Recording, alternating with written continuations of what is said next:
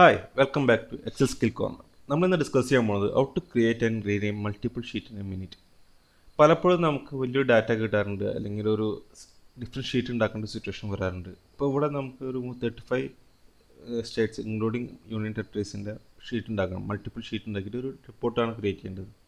പക്ഷേ ഇത്രയും ഷീറ്റ് ഉണ്ടാക്കാനും അതുപോലെ അതിന് റീനെയിം ചെയ്യാൻ ഒരുപാട് സമയമെടുക്കും. അതിനായിട്ട് നമുക്കൊരു ഓപ്ഷൻ ഉണ്ട് പി ഒ ടേബിളിൽ ഇൻസെർട്ട് പി ടേബിൾ ക്ലിക്ക് ചെയ്യുക.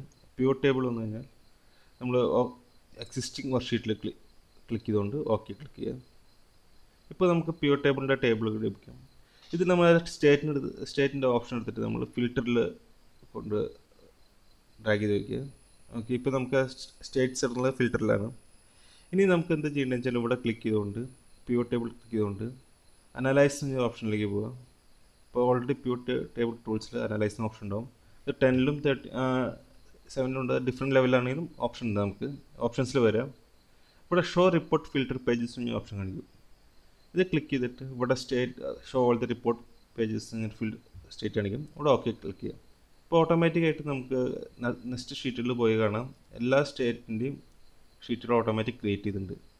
ഇതിലെല്ലാം ഒരു ചെറിയൊരു ഇത് ഡ്രോബാക്ക് പറഞ്ഞാൽ ഇപ്പോൾ നമ്മൾ ഓരോ ഷീറ്റിൽ എടുക്കുമ്പോൾ അതിന്റെ ഓരോ പേജിലും പി ഒ ടേബിൾ അവിടെ ലഭിക്കുന്നുണ്ട്.